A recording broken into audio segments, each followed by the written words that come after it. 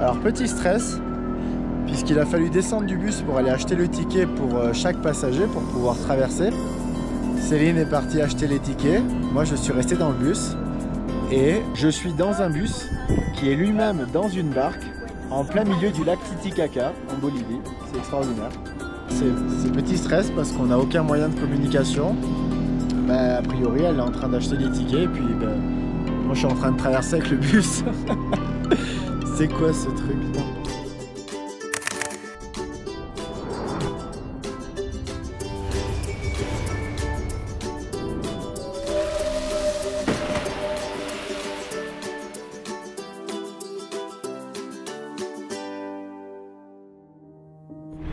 La voilà Je l'ai retrouvé, je suis content.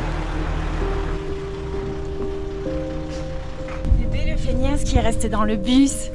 On est rassuré On a payé pour rien, patate. Pourquoi? Parce que j'ai payé. Pourquoi t'as payé pour rien?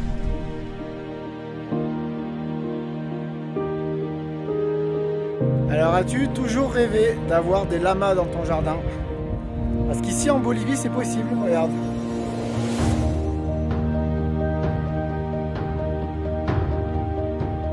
On peut même jouer au baby-foot en même temps. Joue au baby-foot, tu as une vue sur le lac et tu as des lamas qui mangent à côté de toi.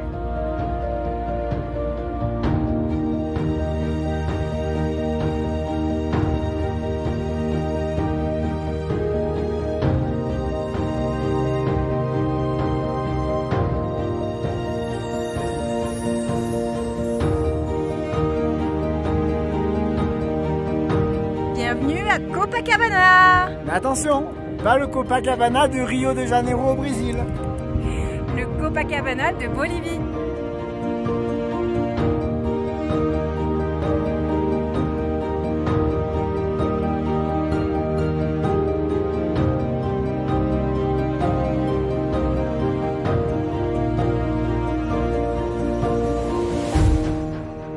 qui borde le fameux lac Titicaca.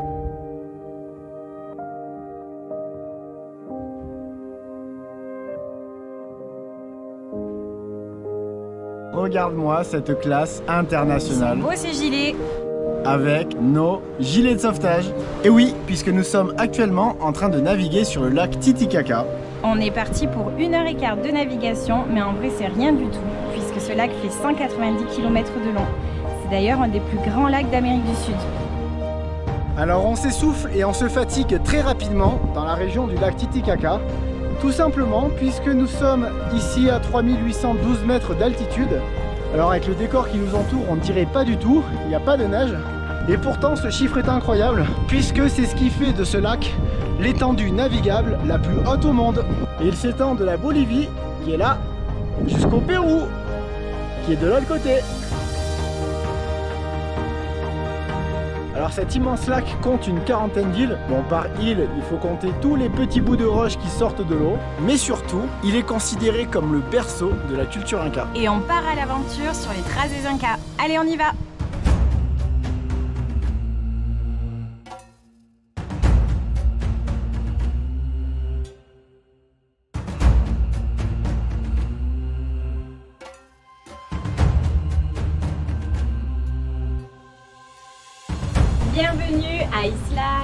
Luna.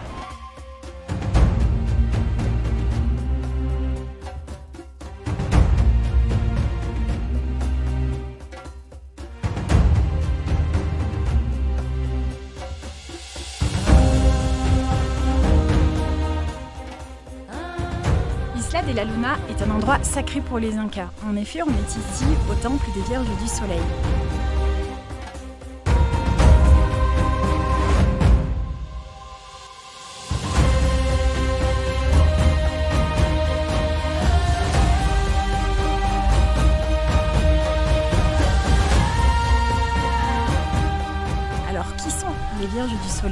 Ce sont des jeunes filles de 13 à 17 ans, choisies pour leur beauté et entraînées pour servir Viracocha, le dieu soleil. Et paraît-il que tout le temple était couvert d'or et d'argent, simplement pour le symbole de leur divinité qu'ils vénéraient, le soleil et la lune. Et à l'arrivée des conquistadors, tout a disparu puisque tout a été revendu pour construire une basilique.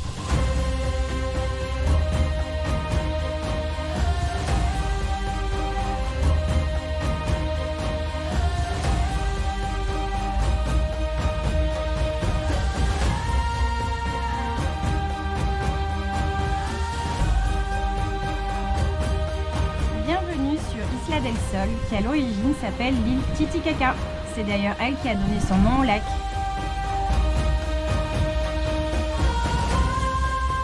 C'est l'île qui abrite le plus de lieux sacrés de la civilisation inca. En parlant de lieux sacrés, voilà la pierre sacrée de Chincana où les Incas ont fait de nombreux sacrifices humains. Aujourd'hui, l'île est encore habitée par des peuples indigènes de Bolivie, notamment les Quechua et les Aymara. Et les Aymara continuent de faire des sacrifices sur la Chincana. Mais ce ne sont plus des sacrifices humains, mais des sacrifices d'animaux, en particulier le lama, qui est l'animal sacré en Bolivie. Et tous ces sacrifices sont faits et ont été faits pour le dieu soleil Viracocha. On apercevrait même son visage sous cet énorme rocher qui repose à côté de la Chincana.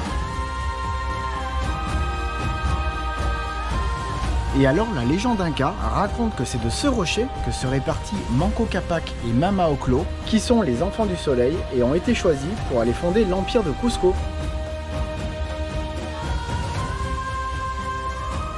À présent, nous allons faire le rituel de Viracocha pour nous connecter aux éléments.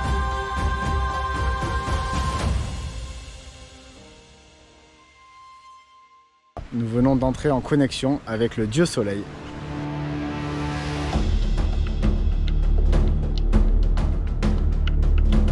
Alors l'Isla del Sol, ou en français l'île du soleil, porte très bien son nom, puisque regarde, nous sommes sur une île.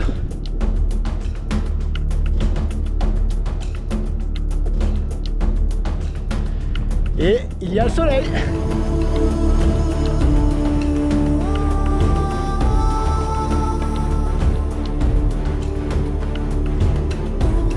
Nous entrons dans le labyrinthe Inca. Va-t-on en sortir? C'est le labyrinthe de la jeunesse éternelle.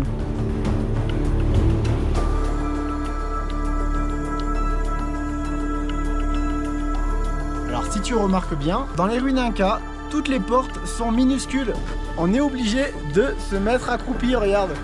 On ne tient même pas debout. En réalité, on ne sait pas si les Incas étaient tout petits, peut-être.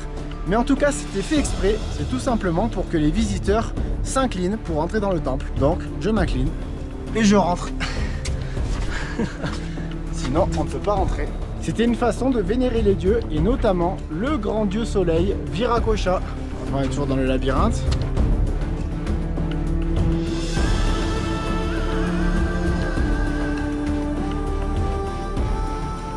Tout sac Perdu. Demi-tour. Ah, il y a une porte.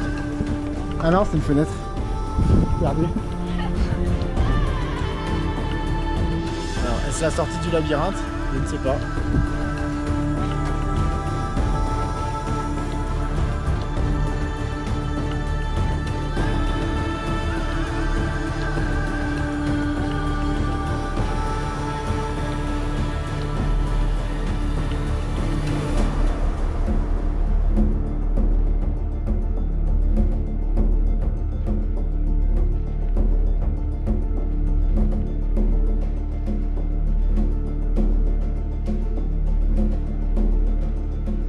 Magnifique chambre avec deux lits simples. Après le trek des Incas de la journée, voilà un repas bien mérité. Et surtout, un verre de vin bien mérité. Ça c'est cool.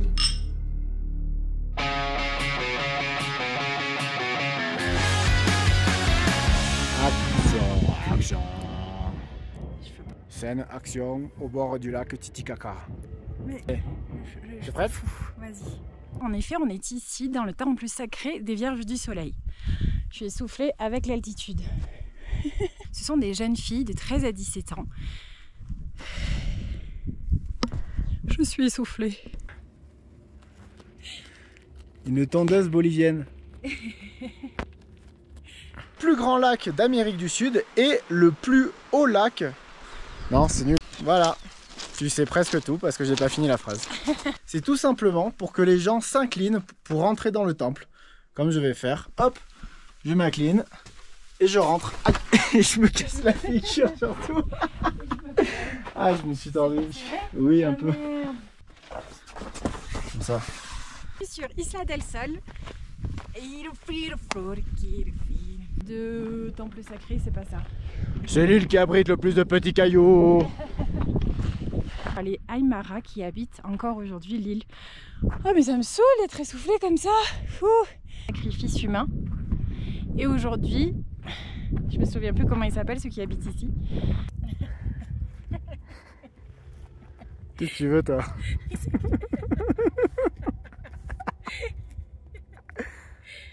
Et aujourd'hui, l'île est encore habitée par des hum, peuples indigènes de la Bolivie. Des sacrifices. Alors on essaie de dialoguer avec les moutons à l'autre bout de l'île. Allez répondre hein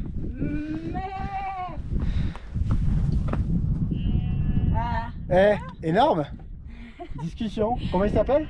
Ouais, ben venez pour l'apéro à 18h. Et pourtant, c'est ce qui fait de ce lac. La la la la la la Ah j'étais. J'arrive pas à finir mes phrases parce que je suis essoufflé à 3800 mètres. il faut pas entendre. Est-ce que t'entends? Dis bonjour aux copains. Salut